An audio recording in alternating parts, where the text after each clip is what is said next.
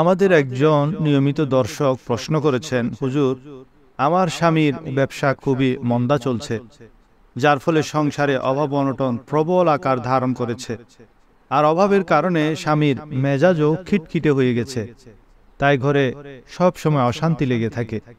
এখন আমাকে এমন কোন অজিফা বলে দিন যা করলে আমার স্বামীর ব্যবসায় উন্নতি হবে সকল অভাব অনটন দূর হবে এবং ঘরের শান্তি ফিরে আসবে। প্রিয় বন্ধুরা, যাদের সাথেই এই ধরনের সমস্যা হয়, তারা এই অজিফাটি পালন করবেন। ইনশাল্লাহ আপনাদের সকলের সমস্যা আল্লাহ তালা সমাধান করে দিবেন। খুব দ্রুত অভাব অনটন দূর করে দিবেন।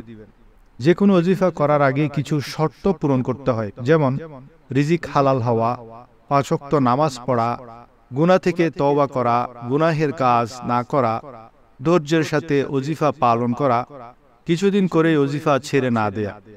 যদি এসব শর্ত পালন করে অজিফা করেন, তাহলে ইনশাআল্লাহ আপনার দোয়া আল্লাহ তালা কবুল করবেন, আপনার মকসদ পূরণ করে দিবেন, আপনার অভাব অনটন আল্লাহ তালা দূর করে দিবেন। অজিফাটি হলো পবিত্র কোরআনের সুরা সোরার উনিশ নং আয়াতের অজিফা আয়াতটি প্রতিদিন সত্তর বার পড়বেন।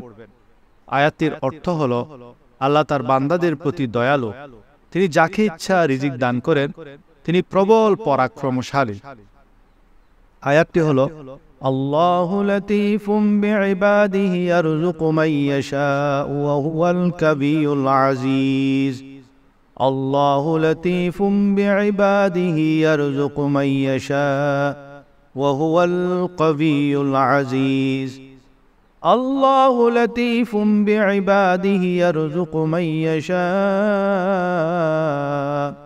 وهو القوي العزيز.